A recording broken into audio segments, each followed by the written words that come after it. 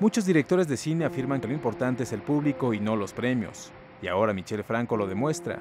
Como productor, director y guionista de la historia, logró que su película, Las hijas de Abril, se estrene un mes después de haberse presentado exitosamente en el Festival Internacional de Cine de Cannes.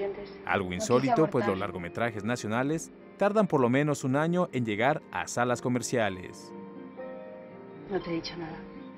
Para mí eh, es más importante el éxito eh, en México, que la película se vuelva popular, que la proyección en festivales internacionales. Aclaré, aclaro también que Cannes obviamente es una situación especial porque pues es la mejor plataforma mundial para presentar la película, pero no esperaría eh, para hacer una gira por otros festivales reteniendo así el, el. Perdón que no pude dar la vuelta.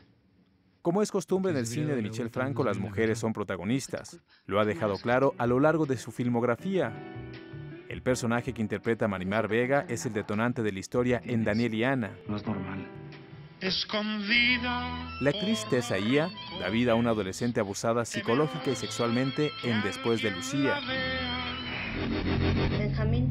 En la cinta A los Ojos, el director nos presenta a una trabajadora social que se debate entre hacer lo que dicta su ética profesional o brindarle a su hijo ciego la oportunidad de llevar una vida normal.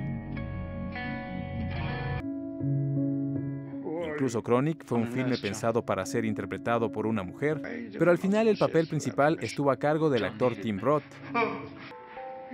Las hijas de Abril es una historia coral en la que a través de tres personajes femeninos y uno masculino, el director nos muestra diferentes caras de la maternidad y lo que significa ser mujer en la actualidad. Valeria, por favor, no puedes estar así. Justo por el hecho de ser mujer y por estar en una situación límite como un embarazo,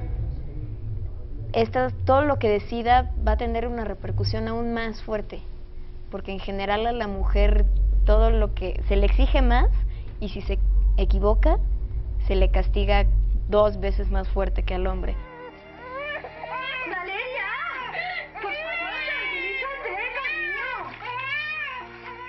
La película inicia en una casa a la orilla de la playa. Ahí vive Valeria, una adolescente embarazada, y su media hermana Clara, quien padece trastornos alimenticios. El frágil equilibrio que reina en el lugar se verá alterado con la llegada de Abril, un personaje complejo que encarna la actriz Emma Suárez. Yo los puedo ayudar un poco, pero al final vas a tener que partirte trabajando. Y no es normal a tu edad. Es un oficio de fondo, es una carrera de fondo y y hay muchas etapas en, este, en, esa carrera. Hay muchos momentos en los que a lo mejor no tienes trabajo. Por eso cuando vives como yo ahora una etapa así, sabes lo, lo que cuesta, ¿no? Y, no puedes más que, que, agradecer el momento que estás viviendo porque es un momento de muy afortunado, ¿no? Es un privilegio.